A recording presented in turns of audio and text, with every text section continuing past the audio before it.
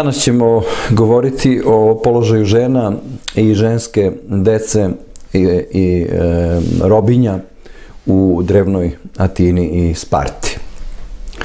U staroj Atini je udata i smerna e, žena bila apsolutno izopštena iz javnog života, dok su hetere ili e, narodskim reč, rečnikom rečeno kurve učestvovale u svim oblicima e, političkog života. Dakle, one su se potpuno slobodno kretale među muškarcima u tom izrazito zatvorenom muškom krugu stare Grčke. One su učestvovale u pijankama, e, pile su sa muškarcima, opštile sa njima, mazile ih, laskale im i tako dalje. Dok, e, za razliku od e, stare Atine, u Sparti je žena bila nešto slobodnija, ali i usamljenija. Zašto? Zato što su Spartanci, muževi, bili neprekidno u ratovima van tog ojkosa ili ti porodice, a e, funkcija Spartanke je bila upravo rađanje dece ratnika. Dakle, ona je bila jedna vojnička mašina za e, rađanje dece koja će e, vrlo brzo putem e, strogog spartanskog vaspitanja postojati i ona ratnici. To se odnosilo čak i na žensku decu, o čemu ćemo malo kasnije govoriti. Dakle, žena Sparte je, za razliku od Atinjanke, bila neka vrsta pomoćnog pozadinskog vojnog odreda i morala je da bude e, jaka, samostalna i hrabra. Imala je nešto veću autonomiju. E, I jedna i druga žena su živele u kontekstu e, robovske ekonomije i robovskog robovlasničkog društva, gde su robovi bili andropodi. Šta znači andropod? To je životinja sa nogama čoveka. Tako su robovi bili tretirani u to vreme. Oni, to jest robovi, su osnov eko, ekonomije i svojina su gospodara, odnosno robovlasnika. Oni rade u polju i u kući. Kako kaže čuveni rimski pisac Varon, rob je oruđe, oruđe koje govori. Dakle, mi već tada vidimo ono što će kasnije se provući sve do današnjeg doba. I rob je najce, najcenjenija i najskuplja roba koja može da se iznese na pijacu, na pijacama robova. Znači, najskuplja i najcenjenija roba. Gazda robova se zvao Kirios, muškarac, on je naravno uvek bio muškarac, ali su te hetere, ili eh, najviši vid prostitutki, najuzvišeniji vid prostitutki, i one su imale One su jedine žene koje su imale u vlasništvu robova, koji su bili pokloni od strane njihovih e, ljubavnika. Odakle one su bile određeni izuzetak. Udata i smerna žena u staroj Grčkoj nije mogla biti vlasnica robova. Recimo tome govori Platon u svojim čuvenim zakonima. Zatim, rob nije imao porodicu. On nije imao porodicu u klasičnom smislu, niti brak. A deca e, koju bi e, robinja rodila, bila su običan priplot i pripadali su gazdi, Kiriosu, gazdi robova. Sa tim e, robčićima koji bi se rađali iz tih seksualnih veza robovlasnika sa robinjama ili između, eventualno između meteka I robinja, e, gazda robova ili Kirios mogao je da radi šta hoće. Znači da ih proda, da ih uškopi, da ih opet e, preproda ili da ih odgaja zajedno sa svojom zakonitom e, decom i da kasnije odlučuje o njihovoj sudbini. Ili je mogao da ih izloži jednostavno na suncu, da ih ostavi, da ih ostavi tako, da umru na suncu ili da ih neko eventualno uzme i da odluči on da odgaja tu decu, naravno kao svoje robove i da ih kasnije preprodaje. To je bilo e, to antičko društvo. E, šta su još radile robinje? Robinje kao apsolutno vlasništvo gospodara, one su prele i tkale i taj njihov rukodelj je korišćen u porodici u Ojkosu, u Oikosu, on, taj rukodelj je korišćen za potrebe robovlasnika, odnosno za, e, za e, e, robovlasnika za njegovu e, ženu i e, njegovu decu, a višak je prodavan na pijacama. Znači one su već tada e, bile i fabričke, da kažemo, e, zanatlijske robinje.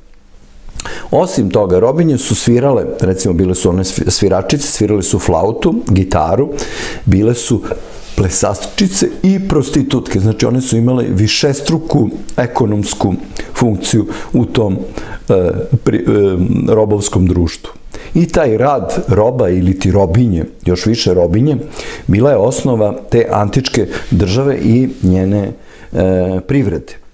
I privreda se i zove oikonomija, opet od korena oikos porodica. Dok je kapelika, trgovina, bila već nečasnije zanimanje o čemu smo opet govorili, te su uglavnom ti meteci a, a, stranci trgovali, a, a robovlasnici su uzdržavali od toga. E, udate smerne žene, znači nisu e, e, bile vlasnice robova, međutim one su samo e, kontrolisale robinje i robove, nisu mogle da kupe ili prodaju roba ili robinju. To je opet važno istaći. Bilo je tu vrlo redkih izuzetaka, na primjer, e, pominje se jedna žena Tinjanka, e, Nikereta, u četvrtom veku stare ere, koja je mogla e, imala je dozvolu, to je bio jedan izuzetak, mogla je da trguje robljem u Korintu. Eto, to je bio jedan od redkih izuzetaka. E, položaj žene, udate, zakonite žene e, starog Grka je bio izuzetno težak. Opet ponavljamo, zemlja je bila vlasništvo muža, ona je donosila samo miraz koji uglavnom nije bio u zemlji I opet, naravno, i tim mirazom je upravljao muž. Platon je govorio da je uloga žene da ona e, bude čuvarka, čuvarka porodične imovine, da ona, eto, bude samo čuvarka kuće. Dok u Sparti je e, privreda imala nešto drugačiji karakter. U Sparti je ovaj, postojala ta kozvana vojna privreda i, ti helo, i postojali su heloti ili ti polu, robovi poluslobodnjaci i a, a, gde je država ograničavala da je opet bila postojala ta snažna, da kažemo total, današnjim rečima, totalitarna država koja je ograničavala e, individualno pravo raspolaganja robova. Međutim, u Sparti imamo opet užasne ovaj običaj, ko na primjer običaj kolektivnog ubijanja robova, takozvane kriptije. E, kasnijim razvojem e, novčane privrede koja je bila jako ovaj, zakržljala u spas, posebno u Sparti, javlja se ta e, filohrematija ili ti ljubav e, prema novcu i e, koja kasnije prema Platonu i Aristotelu, kasnije ta ljubav filohrematija, ljubav prema blagu i prema novcu postaje uvek glavni razlog za opadanje i konačni pad Sparte kao vojničke države. Ono što ćemo vidjeti i u kasnijim civilizacijama, na primjer pad e, Vizantija, opet e, zbog takozvane Vizantije ili ti Romeje, e, zbog tog kulta hedonizma, uživanja novca, luksuza, raskoši, razvrata, prostitucije i tako dalje. Vidjet ćemo na, na primjeru e, fantastičnog luksuza i raskoši Mletačke republike, koja opet iz istog razloga e, propada i naravno na e, primjeru Osmanlijske caravine, veličanstvene Osmanlijske caravine koja iz istog razloga propada, čim ovaj sultani počinju da se bave lovom, haremima, e, e, ispijanjem e, najskupocenih vina, pijankama i ovaj, orgijama. I e, to se večito ponavlja kroz istoriju. O, da se, vraćajući se opet na Spartu, pomenimo e, opet ustanovu Sisistija, koje, to su bile javne e, menze za vojnike I opet e, pominjemo Helote koji su opet bili u toj državnoj svojini. Kasnije e, polako i žene e, dobijaju još veću autonomiju u Sparti i one, govorimo uvek o zakonitim ženama, one počinju da stiču zemlju. Čak i u jednom momentu jedna žena koja se zvala Kuniska imala četiri petine zemlje čitave Sparte. A u četvrtom, to je bilo u četvrtom veku pre nove ere, dok jedna druga, opet po imenu, po istom imenu Kuniska, jedna druga Spartanka, bila e, vrlo bogata i pobedila je čak e, u Olimpiji na takmičenju sa konjem, imala je mnogo konja. Konj je bio u Sparti izuzetno e, izraz jednog ogromnog bogatstva, jer imati konje je bio veliki luksus zbog, bili su izuzetno skupi, posebno zbog nedostata pašnjaka, jer znamo, Sparta je bila kamenjar i isušena zemlja. E, govorit ću o društvenom e, životu žena, uvek govorimo da su žene u Antici i u Sparti i u, u Atini bile izopštene iz društvenog života. One su imale muža koji je bio njihov tutor, Kirios, gazda, njihov gazda. E, taj tutor ili Kirios, mu, muškarac je mogao da bude otac, brat ili zakoniti muž.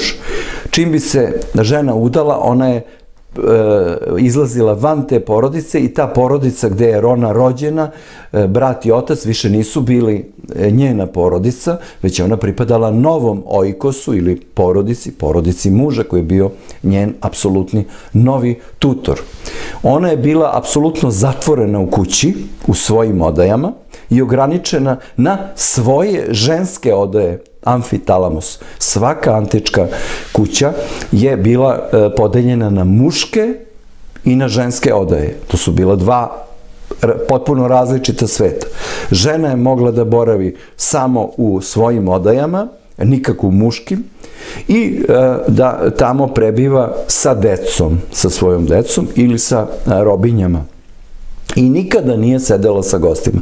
Opet podsjetimo se današnjih naroda koje vrlo dobro poznajemo, nećemo ih imenovati, to su vrlo patrijarhalni narod koje mi jako dobro poznajemo i u današnjem modernom dobu i znamo otprilike ovaj, koliko su se ovi običaji održali do današnjih dana. Uloga majke. Uloga majke je bila jedina uloga koje je to antičko društvo grčko e, robovsko društvo e, ženi ovaj davalo da ona rađa decu i ta uloga je naravno njoj bila njena privilegija. Ali su ženska deca i ubijana ubijana prilikom rođenja ili kasnije ostavljana na suncu da ih neko uzme ako želi ili da jednostavno umru. E, udate žene su, e, smerne žene, udate, zakonite žene su uvek bile neobrazovane. Dakle, uvek e, napravimo analogiju sa današnjim dobom. Udata žena je morala biti neobrazovana i domaćica. Dok su kurtizane ili ti hetere, i vidjet ćemo kasnije koliko je bilo različitih, veoma mnogo vidova tih hetera ili kurtizana, one su učene u poeziji, u prozi, učene su da sviraju različite instrumente, rekli smo, da e, oblikuju, da se bave određenim vidom slikarstva i potpuno slobodno su se kretale u muškom društvu. Hetere su bile duhovna, hetere e, su bile duhovna zabava, za muškarce, a kurtizane su već bile telesna zabava. Iako, naravno, muškarci su se zadovoljavali i preko hetera, međutim hetere su bile daleko obrazovanije od običnih kurtizana i njihov položaj je bio ovaj mnogo e, bolji i, mo, i one su bile mnogo moćnije i bogatije od običnih kurtizana. Tako, na primjer, čuvena hetera Aspazija, ona je učila Sokrata, a naravno i Perikla, čija je kasnije postala i žena. Ona je bila paradinast, ona je bila vladar preko Perikla, bila je toliko bogata i moćna da je ona de facto vladala iz pozadine ovaj, a, Grčko. Ili pomenimo čuvenu Safo sa Lesbosa, koja je bila izuzetno učena i ovaj, pisala poezije i okupljala oko sebe žene koje je eto krišom učila jer one nisu smele ni, pod, ni slučajno da, im, da stiču obrazovanje. E, to se vidi i po božanstvima. Znači, e, sva božanstva stare Grčke, e, sve žene boginje su apsolutno podređene muškim božanstvima, kao što je Hera podređena Zevsu. Zevs je bog bogova, a e, ženska božanstva su uvek tu da služe muškom božanstvu i muško božanstvo Zevs recimo poništava Herine odluke i njene čini, na primer, i ovaj, apso, ima apsolutnu vlast nad ženama, on ih siluje, vrš, vrši rodoskrvnuće i tako dalje i tako dalje. U antici rođenje ženskog deteta, kćeri, je bilo najveće zlo koje je moglo da se desi unutar jednog ojkusa, da se žensko dete. Zašto? Jer je to značilo da treba hraniti godinama hraniti još jedna usta i da i pripremiti miraz. I dan danas analogija sa današnjim dobom, koliko se to sve, ovaj, e, koliko se svet uopšte nije promenio, je primer Indije, gde ovaj, e, deca u Indiji čak bivaju ubijana i po samom rođenju ukoliko su ženska, jer, za žen, jer žensko dete je uvek opterećenje za e, porodični budžet. Takvu decu bi neko, kao što smo rekli, uzeo za roba ukoliko neko nije imao mogućnosti da ih e, hrane. Opet u antičkom dobu, kada biste vi pitali starog Grka ili Atinjanina ili Spartanca koliko dece ima, on bi pominjao samo mušku decu. Ženska deca se nisu ubrajala u, e, uopšte u decu u porod. Ne samo to, e, žensk, žene i ženska deca nisu čak ni uslovljavana ličnim imenom. Ona nisu oslovljena ličnim imenom, već kao žena toga i toga. Ili e, e, čerka toga i toga ili nečija čerka. Znači, institucionalno se posticalo uspo, u, uspostavljanje s druge strane homoseksualnih veza, homoseksualnih veza, a mladići su bili promiskuitetni. Posticala se ovaj, a, e, posticala se posticao se promiskuitet e, mladića, a žene e, i ženske E, mlade devojke su bile strogo nadzirane i kontrolisane. Dakle, ženske, ženska deca su bila izuzetno strogo kontrolisane u svom razvoju. E, e, nisu smele da izlaze i posebno nisu smele da borave u muškom društvu i njihov život je bio ograničen na četiri zida na dom. E, glavni e, događaj e, u životu devojaka je bilo izbijanje prve menstruacije, to je prva menarhe se zvala, na primjer, i one već bi bile davane, e, već sa pet godina bi ugova, bile, bilo, bio bi, bila bi ugovarana svadba ili brak ženskog deteta, a na kritu su stupale e, devo, devojke ili devojčice su stupale u brak već sad od 12 godina pa na gore, dok su muškarci, recimo, oni su se e, ženili i sa 30 godina, navršenih 30 godina života. U Sparti su žene e, odnosno e, devojčice i devojke potpuno golišave i gole dobijale e, vojničko vaspitanje od sedme godine. Pazite, sedme godine, to je početak osnovne škole. I već su tada ravnopravno e, e, e, vežbale vojničke veštine i tele, telesno se ovaj, e, vaspitavale u e, blizini muškaraca. Međutim, opet e, podsjetimo da u Sparti se favorizovalo, su se, se favorizovala e, muška, muški promiskuitet i parovi dečaka homoseksualna veza između mladih dečaka, gdje bi u, u toj homoseksualnoj vezi, vezi učestvovali i odrasli ovaj Spartanci kako bi on, njima oni posticali to formiranje vrline.